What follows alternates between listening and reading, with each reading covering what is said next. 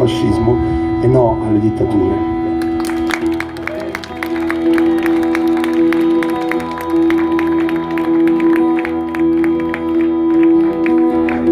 L'estate del 44 fu la più calda di tutto il secolo, perché vent'anni di fame e miseria, per le visioni in camicia nera, che ci portarono in mezzo a una guerra, cui ribellarsi era cosa seria, e la montagna fu madre dei combattenti bambini, bambini.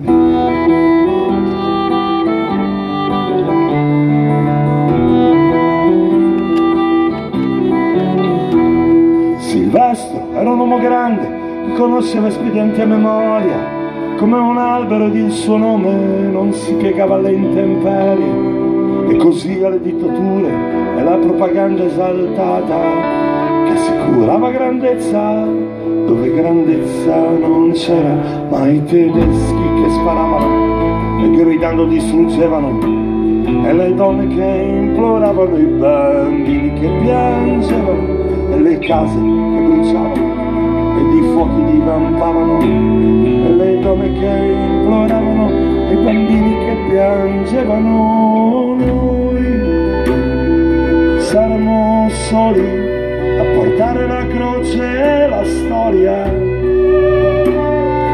Noi saremo soli contro uomini senza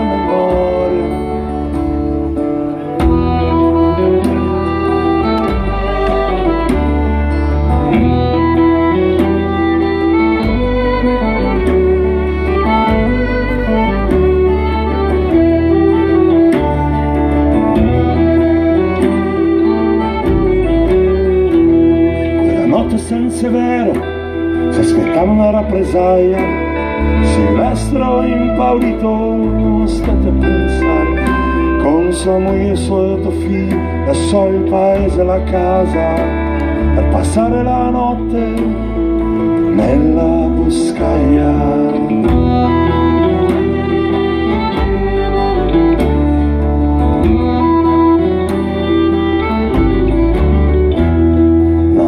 passò in fretta. Tra il freddo e qualche favola e sembrò la più bella di tutte col suo cielo d'estate. Non si sentì alcun rumore al paese lasciato.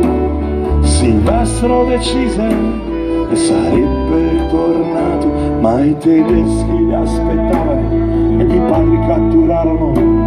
E le donne che imploravano e i bambini che piangevano e nel bosco li portarono e poi dopo li bendarono e da bestie girarono venti padri che morivano noi.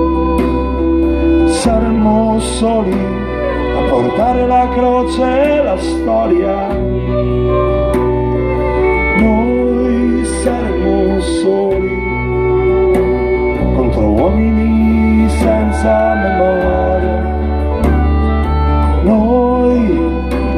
soli a portare la croce e la storia. Noi saremo soli contro uomini senza memoria.